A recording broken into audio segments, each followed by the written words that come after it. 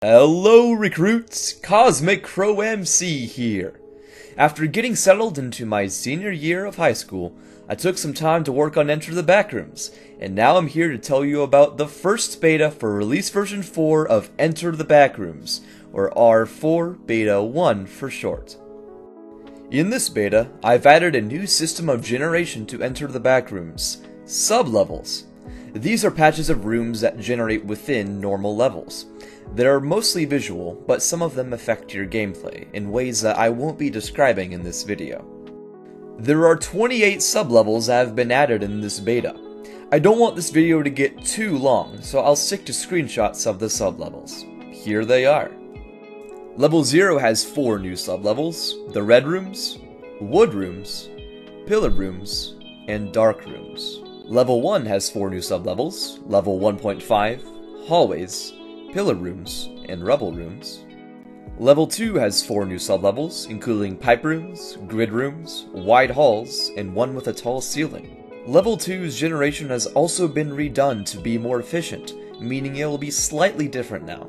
Level 3 has 4 new sublevels, Dark Rooms, Grid Halls, Pipe Rooms, and Gated Halls. Level 4 has 4 new sublevels as well, including low ceilings, construction rooms, table rooms, and pillar rooms. Level 5 didn't receive any sublevels in this beta, however, I do plan on giving Level 5 an upgrade later. Level 6 has 4 new sublevels, pillar rooms, pantries, which are a substitute for Level 6.1, long halls, and thin areas. Level 7 has two new sublevels, pipe rooms, and one with a tall ceiling. Level 8 has two new sublevels, open areas and webbed shafts. Before trying out the new generation, you should expect to see a lot of missing geometry and bugged generation. The new generation system has some flaws, and I'll do my best to fix these going forward. One last thing to note, Finnish translations were also added in today's beta.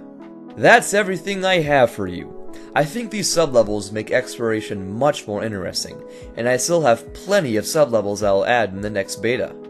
Before I go, if you'd like the chance to discuss the game, make suggestions, and stay up to date on the game's development, make sure to check out a link to the Discord in the description below.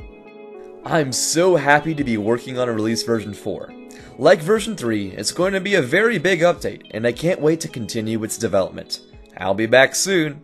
Goodbye, recruits!